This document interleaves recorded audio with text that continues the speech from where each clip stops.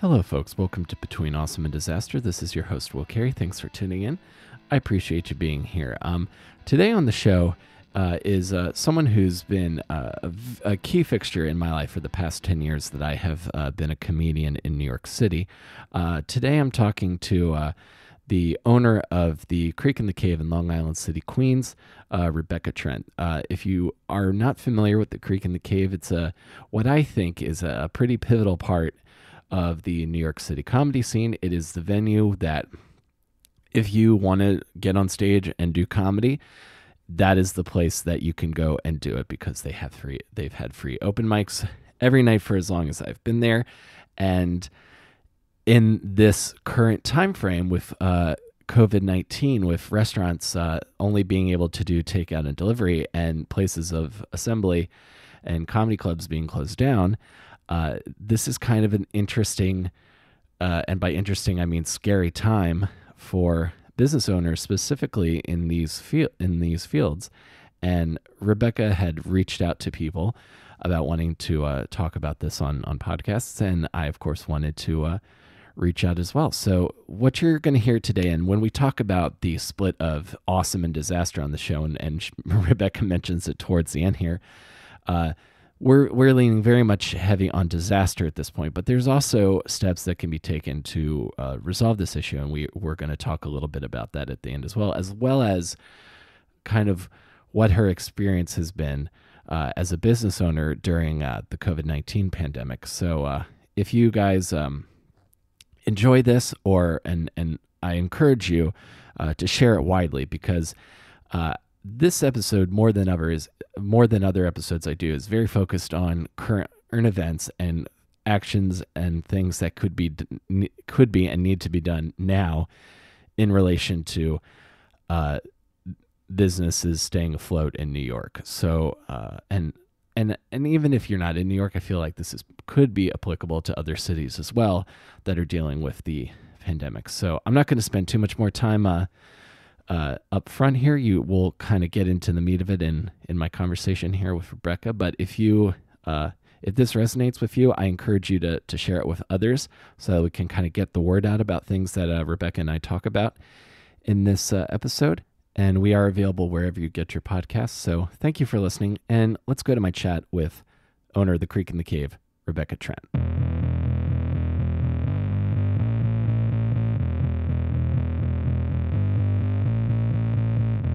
Yeah um, i've i've had to as i uh, i've had to along with a couple of my other friends who who do podcasts very quickly figure out uh, multiple different ways to do stuff remotely so uh, apologize for Yeah. for that Oh no, don't worry about it. Um, I'm uh, surprised at how uh, quickly we took over Zoom. It seems like they're uh, the only ones that are uh, making anything during this. yeah i i've heard the i've heard the word zoom like three to four times an hour for the last two and a half weeks I- Right? It's crazy. I'd never heard of it before, and suddenly everybody knows about it. yeah exactly i wonder if they're all in their like working from home offices just high-fiving uh this They have to be, this situation yeah right? Um, so, so I wanted to. I, I've been my the first question I've been asking everyone when, is uh, I do a, a like a quick mental and physical health check because I imagine you being a, a, a restaurant and a, and a venue owner. I feel like you're sort of on the front lines of this of this pandemic right now. Well, certainly not in the way that medical professionals are, but yeah, I mean, I'm I'm doing deliveries myself. I'm uh, Mhm. some some some days I'm in the kitchen making the food myself. Um, I, I think that probably for the remainder of this time, we'll we'll likely open back up tomorrow or the day after, and we'll just start doing activity kits like build your own fajitas, build your own tacos Mm-hmm. because mostly the people that are that are still ordering are um, people in the neighborhood, are people families in the neighborhood. Yeah, that that that makes sense. I, I've had a couple places uh, up in Astoria have done that. Uh, several of the uh, the Asian restaurants on on Broadway have t- come up with quick buy a big bag of frozen dumplings or frozen whatever. You can basically Right. do it yourself. I guess Right. Because I guess you because kind of have to adapt or die in this moment. Sure, but I think that also like a, a lot of the things that that we're sort of discovering is that a lot of parents are being quarantined alone with their kids for the first time in a long time. Mhm. Um, there's a lot of there's a lot of dads who's you know the moms are nurses, the dads are doctors, and so it's a single parent household for the time being, and they need activities to do with the kids to keep them inside and to keep them from going insane. And you know, this isn't a, a suburb. LIC is these apartments are not large. so, you know, everybody's really right on top of each other. So having activities and things to do are helpful. Sadly, a lot of our kitchens are very small. I can't my kitchen can only hold one person at a time and I feel like I have never done more dishes than I have in the last week. It's insane. I imagine so. So you're so the creek is effectively you're effectively running the creek solo right now. Is is that what I'm So understanding? right now my boyfriend and I are doing deliveries. Jamie and I are running counter, and then Aldo and I and Jamie are working kitchen, depending on who's available and when. Um, we have not had any of our employees who took public transportation have not been in the building for probably three weeks at this point. Mhm. Um, I don't know if you remember what was going leading going on leading up to this, but um, we I actually came home from Houston on the seventh, the Monday or the Sunday prior to the uh, to the lockdown. So I ha- when I when I came back, I kind of had a good idea that this was going to get real serious real fast, and so we started asking folks to start biking in and stuff like that very early on. Mhm. Um, I, I don't know, but I'm starting to feel a little weird about asking one of my employees to come through because he's riding all through Queens, and Queens has been hit really, really hard. Yeah. Um, you know, Elio and I are in the building, so our our level of exposure is very limited at this point. and uh, Jamie lives right across the bridge in Greenpoint, so she walks to and from, and it's really not that difficult so I think that what will likely happen and for the for the immediate time being is that we'll just have it be the three of us, um, and just see if we can hold up with demand and start donating food if it looks like it's going to start to go bad, and make Sure. sure that the inventory is is uh, is going to the right place. If it can't go into the into customers' mouths, it's got to go into somebody's. Um, so you know all of that, and there's a tremendous amount of effort uh, going on in my neighborhood. LIC Relief, um, Little Chef, Little Cafe, and uh, New City Hope, uh, one of the local churches. Um, they're all working together and working with local small businesses to uh, create grab and go situations for people that are destitute. I know personally, uh, folks have just sort of come in and said to the, into the creek and said, "I'm hungry. I don't know what to do." and I just tell them to wait right where they are because we have a barrier set up so nobody can get more than six feet into the into the space. Mhm. Um, I just ask them to stand where they are, and we give them rice and beans and chicken. Um, just a real good, healthy, like hearty, you know, construction worker type of meal. Yeah, um, absolutely. and so so far, it seems like everybody's been taking care of everybody, but you know, we haven't gotten even close to the worst of it yet. yeah, like I, I feel like they're they're they're talking like the the peak is like still like like weeks and weeks away. Like I've heard So I- I- we're about three weeks away from the peak. From what I understand, it's going to be late April, early May. Mhm. So three, four weeks.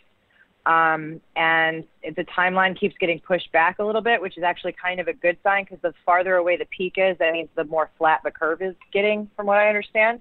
Mhm. Um, but uh, no, actually, that doesn't make sense. It's, I don't, I don't know. They, but basically what we're expecting. What did they say today? Another two weeks. yeah. Um, so he's saying, I, I don't see us getting out of here before May. I don't, I, I, there's no way that they're going to be able to re- release the lockdown before the peak. That doesn't make any logical sense whatsoever. We're going to be under this suggestion. But I mean, I don't know, Will, have you been paying attention? Like the other thing that's starting to concern me, I mean, Elio's, Elio's mother lives in uh, Rhode Island. They're going door to door in Rhode Island asking people if they've been to New York. They're they're starting to you know they're starting to shut the gates at state to state, and Ye- that's that's scary. Yeah, I have I have heard that that they're basically if anyone has been in New York, they're they're asking them to like quarant- quarantine in place. Yeah, that's Shelter in place. yeah, and the the idea of uh, the idea of like oh you were you're you were from this city go stay away is is frightening to me. Abs- absolutely. You know, I mean, people didn't really love New Yorkers before this. Right. We're in trouble. we're all just gonna start adapting Connecticut accents, whatever the fuck that sounds like. I don't know. It's it's it's a little bit it's a little bit daunting. It's scary to me, and I'll tell you, I, my mom um, actually lives in an area that is predominantly um, uh, not uh, year-round property. She's a year-rounder there, but mm-hmm. for the mm-hmm. most part, she's one of like maybe six houses in a neighborhood of about 60 or 70 houses that are uh, uh, that are year-rounders. And when this started to happen, the city count, like their their their group of, of elders or officials or their board of directors or how, however they're they're made their community board, whatever it's called, they mm-hmm. voted to shut down the bridge, and they legitimately said, if you ain't from here, get the fuck out of here, and if you are from here, you now's your chance to get here. And they still got two cases of it there. Oh goodness. So. Yeah, goodness gracious. Yeah. It's, it's I mean, it's they, like, they closed the bridge to the whole island. That's in that's insane. It, it, it's it's like literally every kind of zombie apocalypse uh, pre scenario, like before things get like really bad, like Resident Evil level, is is what a lot of this is reminding me of. And what really pisses I know, really, right? Yeah, and what's really pissing me off is. Uh, my mom is uh, in she still lives in Calvert County in like rural southern Maryland, so she's right.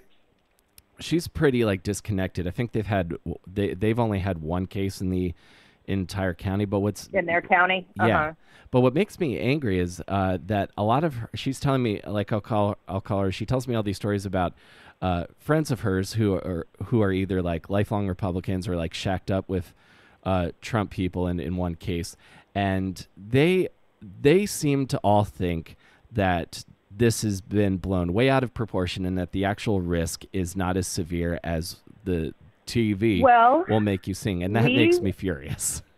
We are Americans, and good Americans listen to their president, and they treat the word of that president like gospel. That is what we were all raised to do, especially the generation above ours.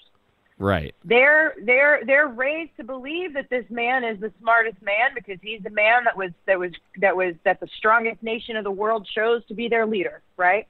So right. now we got this idiot talking a bunch of nonsense and everybody's listening to him and taking his word as gospel to the point where they're eating aquarium uh, chemicals to to try and stave off the evil the evil disease.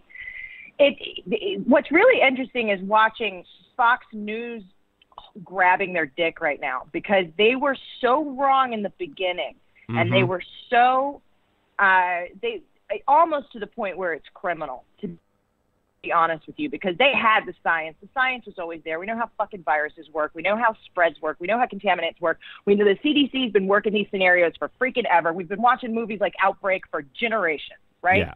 So we we know scientifically speaking how this shit goes down. We know how viruses work. But they downplayed it to the point where they are now worried about litigious action. They're now worried that family members of the dead are going to come for them. And honestly, if they do, it will be a boon to journalism everywhere because now they'll have to tell the truth. Oh, I agree 100%. I would absolutely love to see that, especially the the fact that you can now say that somebody listened to what the president said and now they're dead. Yeah. It's it's Exactly. It's it's surreal watching like the car crash like it's like watching a car crash. Everything is slowed down. And it's like i cannot literally believe like the things that i'm i'm i'm seeing and, and hearing. And especially when he goes on twitter and brags about how great his ratings are during the press briefings. I'm like uh, what well, level of mental illness? I know he's so delusional, but the point is, is that he's got the highest approval rating he's ever had since he's been president. Ex- exactly. That's a fact the polls are saying over 50% of folks, and, and sometimes it's as low as like maybe 49%, but damn near half of everybody's going, yeah, he's doing an okay job. Like really, at this point, I feel like people are going like, "Am I alive? Well, if I'm alive, I guess he did a good job." Like it's it, there's no critical thinking happening. And watching this dick measuring contest go on between Governor Cuomo and President Trump is just disgusting.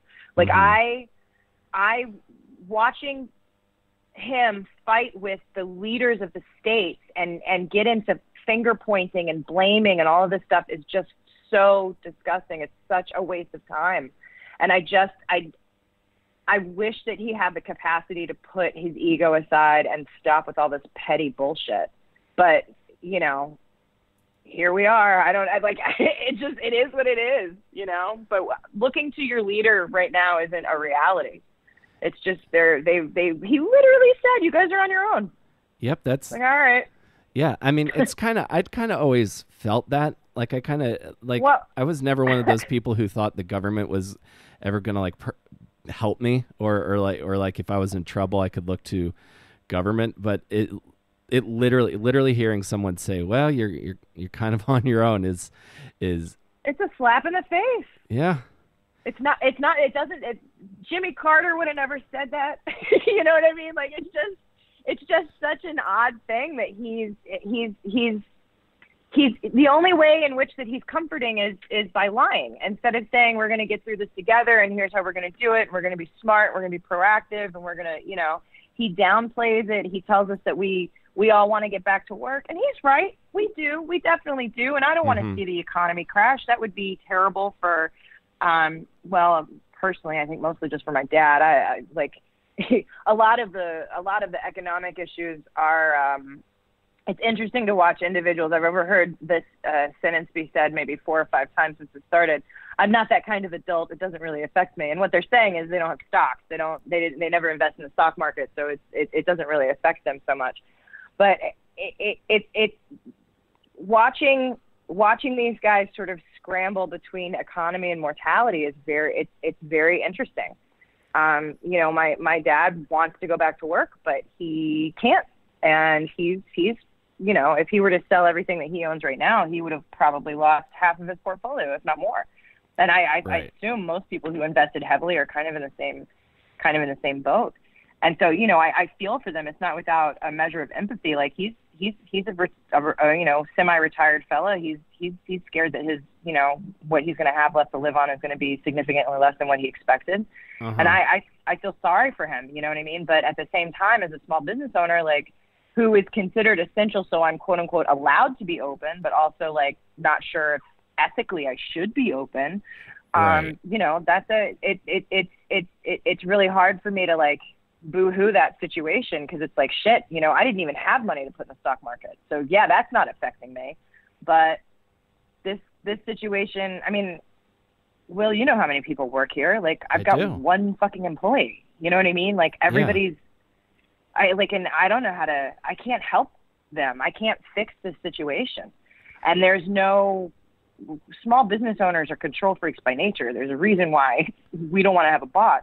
And Mhm. the truth of the matter is, is that there's there's there there not only is there no fixing this, but I don't know what the comeback is from that. I'm literally looking at grant applications and small business loans and stuff like that, but the Creek wasn't in a good position going into this. I mean, like Chelsea, Chelsea and I have been working closely enough for you to be aware of, of, of some of the, the challenges that I've been looking at, uh, even over the past, like, you know, two years. I mean, honestly, I'll be honest. I feel like ever since I came off of tour in 2016, I haven't been able to get this business back on track. And it's uh, making me crazy to the point where it's like, God damn, you know, like I like every time I feel like I've got to step forward, like I felt like I was starting to make moves. I felt like Skankfest um, in Houston was going to help offset all of this stuff when we were going to get back on track for the spring. Like I was set, I was ready to go. I was doing hot yoga every day. Like I was, you sure, know, yeah. and this stuff hits and it's just none none of my plans matter none of my ideas are executable you know like i i went online uh, a couple of days ago just started asking everybody like okay like let's do a creek awards and we'll try and do it in the summertime and then i got to do some kind of like baby festival like a one off festival in july let's start planning that but it feels it it feels it's difficult to inspire people to start making plans for stuff like that because you know a lot of us so are in town. A lot of us aren't sure if we're coming back. A lot of people are saying now that they've killed all of the cultural and, and restaurants and all this stuff, what's the point of even being here? I did a roll call yesterday on Facebook to see how many uh, New York comics stayed in New York City because a hell of a lot of people got the hell out of town. Yeah. But the people that stayed, you know, I was surprised at how many people stayed. Surprised at like, you know, how many funny people stayed. I'm Mhm. joking. It was just there's so many people like stuck around and and and it's like awesome. What do we do with that? Because we're all here and we're all stuck, and a couple of people are, are setting up walks. Like the the people that are in Harlem are setting up um, socially distanced walks to go like in a spread out groups to go walk. And we've got you know a couple of couple of people in Long Island City, and you know I I'm watching. I mean, I, we were trying. Amy Shanker uh, put Power Hour online. Uh, did a live stream of Power Hour last week, this weekend, and you know when I turned it on, there was some guy's penis on the screen, and I think he was pouring ketchup on himself. And Sounds immediately about I thought it was Ian Fidance, but I was I was wrong. It wasn't Ian. It was some other guy. Uh huh. And uh, and then I uh, I don't know, like some guy like chimed in and just started throwing out racial slurs and stuff. So I mean, it got to the point where she had to just mute everybody and slowly like unmute the people that we knew hmm and it's uh i don't know it's it i wish that we could figure out a way to eliminate the reddit and 4chan energy from all of this technology like as we're using it instead of having to have this like trial by fire bullshit because it Yeah. sucks you know what i mean Yeah, exactly. like we feel like we're trying to have a comedy show and then these dipshits show up and start navel gazing uh with racial slurs and it's just bizarre and i don't I guess those are probably the Trump supporters that are uh, pretty sure this isn't real anyway, right? Yeah, I would I would imagine so. Or just or there's a certain kind of like nihilistic energy that exists in like uh, the fringes of the internet that I think just wants to like whatever whenever something like Right. sincere is happening, they just want to burn it down because they hate themselves. That's what I personally Yeah. think anyway. Um, so yeah, I wanted to I mean that's essentially why Reddit exists. Yeah. So I wanted to to ask you because we're we're we're touching on a few of these things here because I feel like uh, the creek is specifically in in the in this axis of two really vulnerable for uh, vulner, vulnerable areas right now, and that and that being Uh-huh. uh, our, our restaurant and then also live comedy venue, which I've started like. I don't know if you read that article that Roy Wood Jr. wrote, but he was kind of like Yeah. pontificating about what comedy Like, even is this over? like does Will comedy like even future? exist? I know. Yeah, is. I mean, I I don't know. I mean, I think that I'm lucky enough that my venue is small enough and I can space people out enough that maybe people would still come. mhm. But if we had 20 people in that audience and everyone was spaced six feet apart from each other, it's not going to sound the same. It's not going to feel the same. Having a packed crowd is a part of live performance, and there really is no way around that. You know, we're all going to feel like spoken word poets by the time this shit's over. You know what I mean? I I and know even them, exactly. even they get crowds. yeah, So I mean, I I, I don't know. I like the the truth of the matter is is that I don't know if people are going to be willing to come and watch live shows. I feel like it might end up just being that comics are performing for comics, and I Well, don't know. I- Will, what do you think? I don't know. Well, I've done plenty of performing for other comics where I'll I'll just I'll, I'll I would do, do Sure, that that's the a saving grace. But Like the creek can survive off of that. yeah, We've well, been doing that for years. Right. Well, because I and and again touching to some of the other things you you were telling me about, like you're like if people are like I'm hungry, I don't know what to do, and you're just giving them that hearty like middle of the day construction meal. Like that reminds me. I don't know if I I doubt you're gonna rem- remember this because it's been almost ten years since I've I first met you. But when I first got here, I think my first uh, Thanksgiving because if anyone listen listening to this doesn't doesn't know uh, the creek there's like an orphan Thanksgiving at the creek every year. And I remember meeting lots of very cool people my first year like Sean Sean Patton and I think James Adomian might still have been around.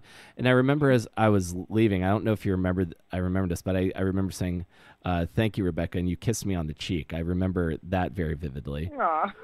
And then I also remember the first time I ever like tried to go and like pitch a show because like a friend of mine had di- did a festival and like gotten somebody from Comedy Central's number and I was like in that stage where I was trying to like scrape by to get make anything happen and I remember Uh-huh. I remember I had I was working at Starbucks at the time and I'd gotten very uh, very sick and left early and I still took the hour G train ride to the creek to pitch my show and you were like what are you doing here man I remember that.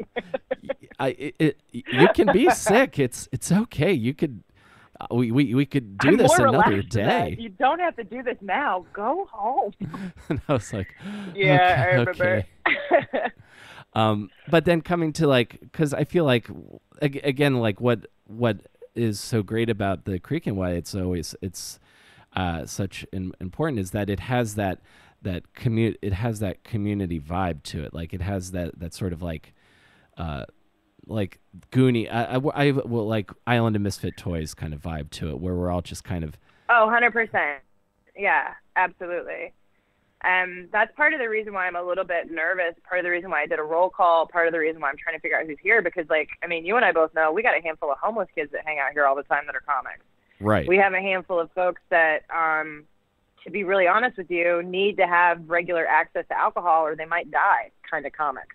Mhm. So you know, and, and I'm not trying to be like dramatic and weird, but you know, like coming off of coming off of the level of alcoholism that that um uh I don't know. I'm just I'm I'm nervous that people are going to get sick and stupid and not take care of themselves and there's so many of them and there's so many that like I feel like seeing them every day was our way of going like, "Hey, you matter. It matters to us that you're alive. Please don't fuck this up," you know? right. So like, you know, I'm not gonna I'm not gonna name names, but there's there's like six or twelve folks that I see on a very regular basis that I feel like if I don't see them, that You're worried. are if not not me specifically, but I mean like I feel like if they're not seen at the creek, if the creek isn't a part of their daily life, then then you know, yeah, I'm worried about them because I've I feel like you know, like you said, Island of Misfit Toys. Some of these people think that it's okay to just fall asleep under bags of ice instead of getting an air conditioner. You know what I mean? Some people are sleeping in rooms that don't have windows, and I just I, I don't know. Like I I get nervous because the home life of the folks in New York. A lot of us sort of train ourselves to not worry about the quality of our home life because we're supposed to be out all the time. We're supposed to be doing all the time. This is New York. This doesn't sleep. We're 24 hours a day. Let's do this. yeah. So now people are home 24 hours a day and they're starting to realize what a shithole they live in and how unadaptable some of these spaces are and how some people are living in alcoves and not even proper bedrooms and I like and and a, a lot of people like that's that's my first apartment in New York. I wasn't living in a proper bedroom. I wasn't living in a you know what I mean? Like a lot of people well actually I I was, but I had I had friends that came from college that weren't.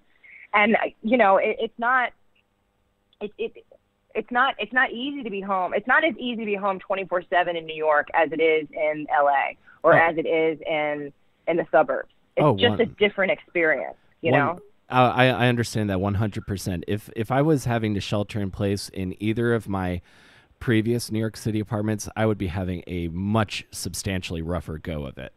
Um, it would because Oh yeah, no kidding. Yeah, because my first uh, because my first apartment in in New York uh, in Sunset Park was effectively a room with a shared kitchen that was uh, split up illegally, and I didn't leave and I didn't go into the kitchen because my old roommate's cat would attack me.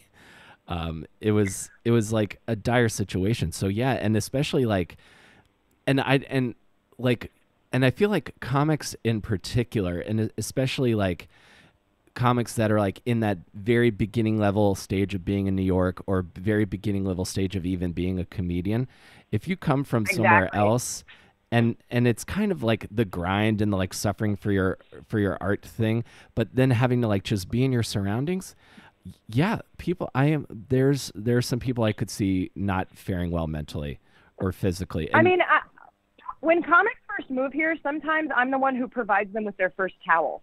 Do you know what I mean? Like we're really talking about bare bones living, and I- Right. I, just I, I feel like I feel like it's just I don't know like I and I don't know how to like what kind of outreach needs to be done because I'm being asked to take care of my Long Island City community, which I'm happy to do. Certainly, I love Long Island City. But to be perfectly honest with you, a lot of the people in this neighborhood, in the immediate neighborhood anyway, I'm not talking about Queensbridge, but in the immediate neighborhood, Sure. a lot of these people are a lot a lot better off than the comics are that I work with.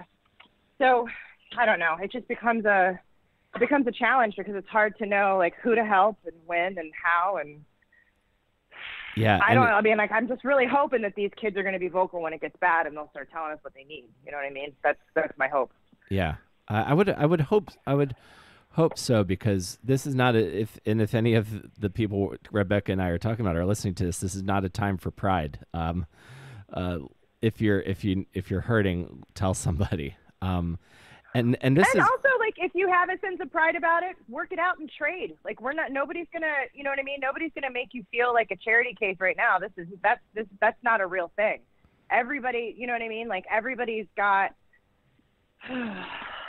every, everybody has something of value that they can offer during this situation so if it becomes a situation like that where you feel like, oh, I just don't want to take, like there's ways around that. Come on. Yeah. I mean, I've got a Ludison has come in and and set up stuff for me. Stevie Lou is still coming through and helping people out. Jamie just walked in the door. We're about ready to knock out the kitchen real quick.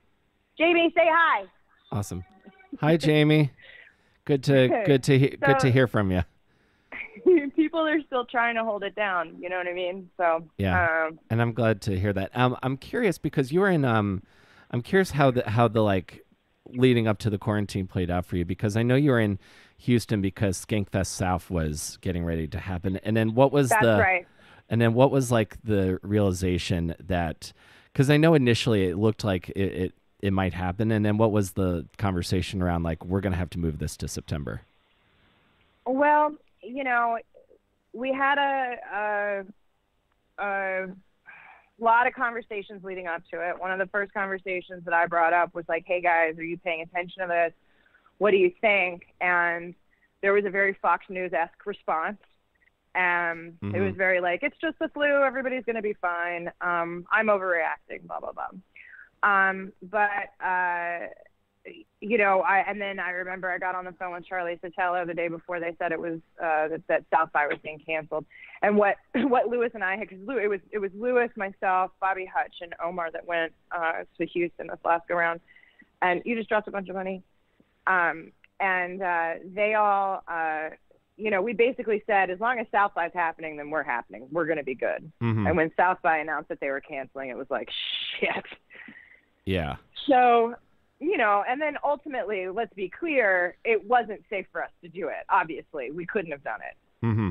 There was no way. So we basically just wanted to wait until the city of Houston, until Texas, until the federal government, until whoever said whatever they were going to say, because it was obvious that this was going to get locked down beyond what we wanted to do, beyond postponement. Right. So we immediately got on the phone. 100% of our vendors are back on board. I think we maybe lost two two artists, maybe three that haven't at least verbally said that they're available. Um, and so the, and I feel like getting an extra six months to build the festival is, in a way, kind of a gift. Mm-hmm. Um, just you know, we get to do that much more. Um, booking and we get to find you know we've got some really sick food trucks that are coming through. Like we i will i mean it was done. We we built an entire freaking festival. It was ready to go. Just like you know just like Moontower was. Well i mean even more than Moontower because ours was like so imminent. It was like two three weeks away. Right. Um and then so we so we rescheduled with the venue. We rescheduled with the with with the city essentially permit wise and stuff. And I mean, it looks like everything's on track, but then we also don't really know what's going to happen. So I'm answering a lot of questions like agents and managers want to know, you know, are these dates locked in stone? And it's like, well, I mean, they're booked, but the last dates were locked in stone. Right. You know what I mean? Like, I don't know what you want me to tell you. Like, I'm, I'm not a scientist, uh, but if I was, I would probably say don't schedule anything for fall. yeah. That's my guess. but I mean, you know, I'm not qualified to really say that, so I just got to wait and see and and hopefully uh hopefully, you know, I I don't even know what to hope for. I like just what do we what do we want? A vaccination? I'm terrified of that. Uh I don't Mm-hmm. know. I just I have yeah, no idea. yeah, I don't exactly know what the solution is is going to be. I'm just hoping that it eventually exists. Uh, I have one more thing I want to ask you because I know I know you got to go shortly, and I would love to at at a f- future date. I would love to ha- to have you on my show again so we could talk about like you know comedy and like the creation of the creek going to full time stuff. I would love to talk about that. Oh, please, that would be lovely. I would love that. Uh, excellent. So we'll, we'll, let's definitely do that because on and you you probably know this, but you know, as for me as a, a comedian in New York, uh, the Creek is very important to me, and you you're very important to me. So thank you uh, for Oh well, I appreciate that. Uh, I gotta say that you and Chelsea have both been so supportive of what I've been trying to do, and I feel like you're one of the people that, like, as soon as you saw it, you got it. Like it, it, like this place, like it was built for people like you, you know. Yeah, I think I think so. Um, one one one hundred one hundred percent. Um, have you been in? Uh, and the last question I'll I'll I'll ask uh, related to to COVID is, have you been in touch with other clubs in the city? Uh, what what's kind of like the general consensus, speaking to any of those folks? I would say minimally. Uh, folks are just trying to figure out what they're going. It's a lot of the Roy Wood Jr. questions. You know, going forward, what is this going to look like? Particularly for the ones that don't serve food, particularly for the folks that really aren't considered essential business right now. Um, there's uh, let's see. I the last time I talked to who was it? I think it was Matt Frostis. I think it was Justin. Um, I was talking to um, one of my friends, and they had been they had been in touch with a lot of the folks in uh, the club ownership and management positions in New York City. And between the information that he had and I had, we estimated that about 30 or 40 percent are probably going to close. Now I'm including the alt scene Brooklyn spots and stuff like that in it mm-hmm. too. I'm not talking about Carolines. I'm not talking about Gotham. I'm not talking about the Cellar. We're talking about the smaller ones, the mom and pops, you know, like Floodlight, like me, like yeah, uh, yeah. QED, you know. So, I mean, the the impact's going to be grave, and the other part of this impact, which is going to be fucking horrible, that we haven't even really touched on yet, is going to be the number of folks who are now out of work or sort of like quasi retired or early retired who are going to decide that they want to be stand up comedians. And that's going to be a wave of garbage like we've never seen. it's going to be like New Year's resolution stand up comedians only for You nailed it. much longer. Oh, only for like like 50 plus year old uh confident white guys. That's what it's going to be. Exactly. Mostly. So so for those guys, and this is this is my bi- my business plan specifically for for this group. again, like uh, we get one of my get one of my friends who's not involved in comedy who has to wear a suit to work. They sit in the back and just take notes so everybody tries a little harder. And then uh, and I think I, I, think it was Justin Williams that tweeted this. If anybody uh, says, uh, mm, "So what else have I got here on stage?" or uh, just throws out a premise with like a uh, there's something there, right? Uh, automatic ban for six months. Uh, I love it. I think that I think that having little suit plants in the back of the room is actually a smart idea. I should start doing that at the open mics here. Yeah, I think that would be a. An... Do you realize, Will, that physically within the last four days, a person came through the door to ask if there was an open mic happening? It doesn't surprise me. I get me. calls every day calls I get every day, but someone literally walked in on Friday. Oh my gosh, that is the mic still happening?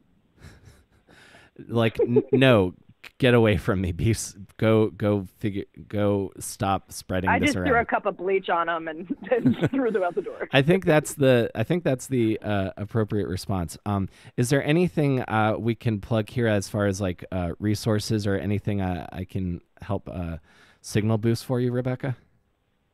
Um, well, there's a couple of things that are really important for us to take note of just as New Yorkers. Um, if you see it on Instagram, if you see the petition, if you see any information on it, please repost, retweet, send the information out there on the proposed rent freeze.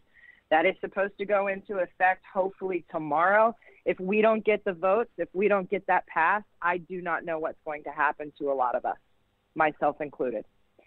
Uh, so that rent freeze is going to be real important for us to plug and get out there if you live in Long Island City, the creek is going to be open at the end of the week, and we're going to do uh, family style kits and stuff like that. I'll have more information on that.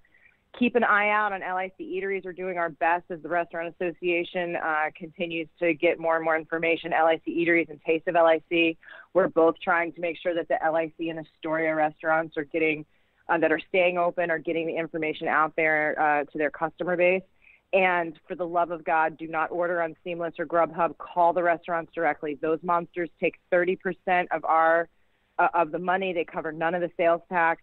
It costs us so much money to use those third-party apps, and I get that they're easy, but calling us saves us so much, and it's going to be the difference between some of these restaurants being able to stay open or not. Already, yes, one one hundred percent. I I just I once I realized that I think because of one of your posts, I'm like i am calling. I'm going to like restaurants' websites if they can order through there. That's excellent. Every every yeah, chance I can good. get.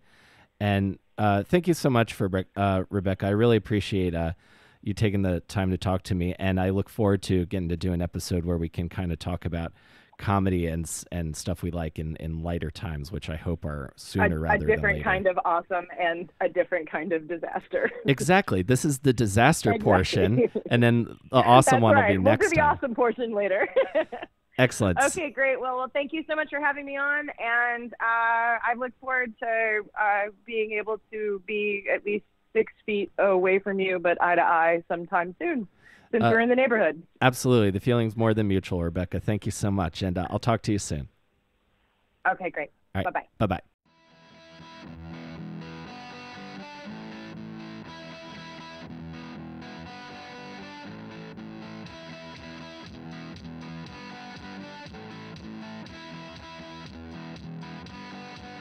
Okay, folks, that's our show for today. Thank you so much for for tuning in. As always, you can follow uh, Rebecca on Twitter at Rebel Cave. You can also follow uh, the Creek and the Cave at Creek and Cave um, for updates on uh, their uh, business hours as well as uh, more information regarding uh, any sort of like action or rent freeze that might um, actions that are occurring in New York State.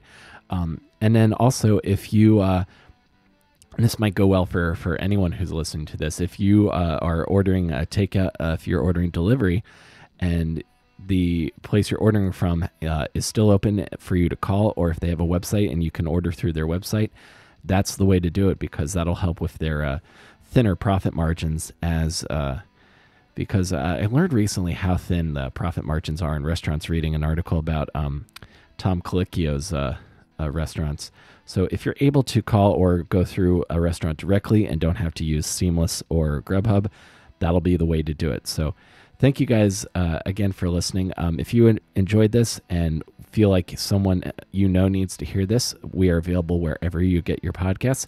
I also have over 130 something other episodes for you to listen to. And uh, uh, I also want to give a shout out to my supporter on Patreon at the awesome producer level, Mary Beth Mooney. Thank you so much. I really appreciate your support. And I hope you guys are staying safe. And and if you're able to, I hope you're still supporting local businesses and and keeping in touch with uh, people that you care about because that's going to be one way that will uh, will stave off uh, a few more weeks of uh, of quarantine. So thank you guys for being here, and I will see you next time between awesome and disaster. Stay safe, everybody.